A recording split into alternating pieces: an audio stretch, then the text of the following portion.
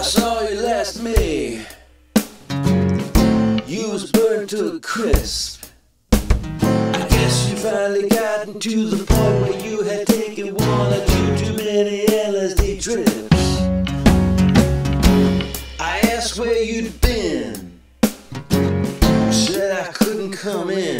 You said you was there. You had always been there, and there was no other place you'd ever been.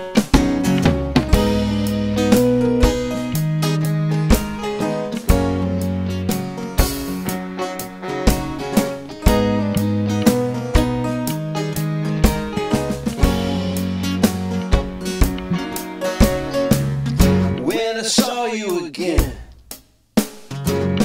you was tied to a fence.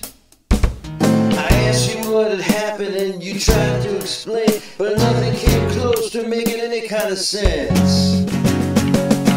When I untied your hands, you told me I better leave.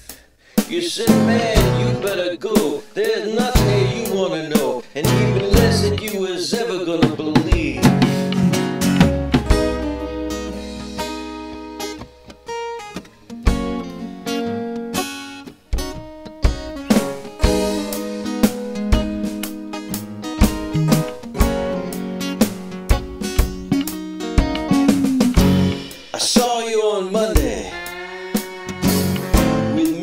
Snowman.